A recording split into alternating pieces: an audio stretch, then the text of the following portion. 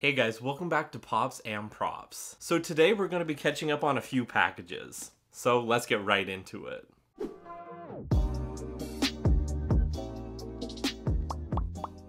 So the first package we've got here is coming in from K-Dog and Fish, and there are some really sweet pops inside of this box. Let's just crack this thing open.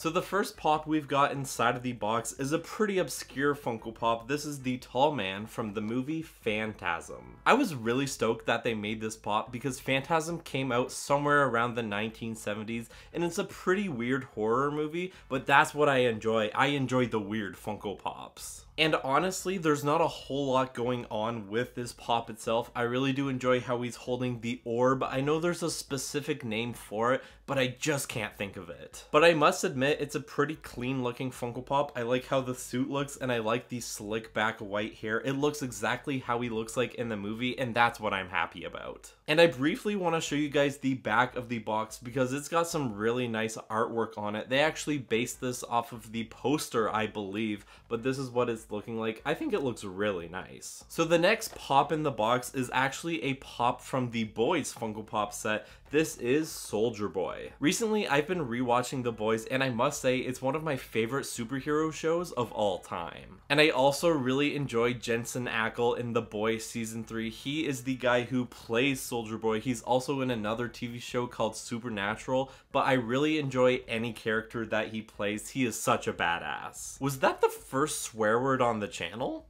Oops. Anywho, I really enjoy all the little details on the super suit, and I also really enjoy that he's got the shield on his one side. And just by looking at it, you can tell it's Jensen Ackles. They did a great job popifying the character. So next up, we've got a package coming in from Pop Collectibles, and there is a very sought after anime Funko Pop inside of this box. And I don't want to keep you guys from the surprise, so let's get this thing open.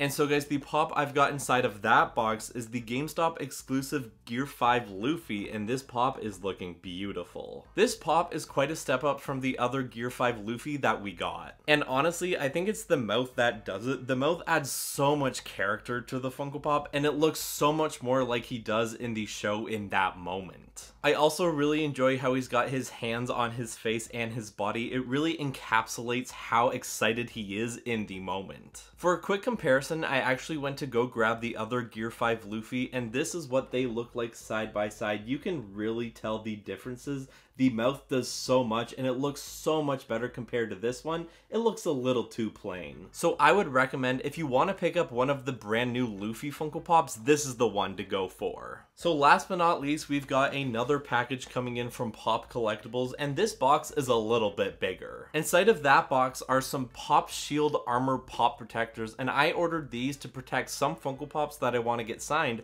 over at Fan Expo. These protectors are super sturdy and they've also got a really nice magnetic lid so it's easy access to slip your Funko Pops inside and outside of the protector. Well guys, those are all of the packages that I've got for today. I quite enjoyed this unboxing because I got some really sick Funko Pops. Please let me know guys, what was your favorite thing that I unboxed here today? I think I would have to pick the Tall Man, but that Luffy is a pretty close second. As always guys, please don't forget to do those three things, like, comment, and subscribe, and I'll catch you guys in the next video you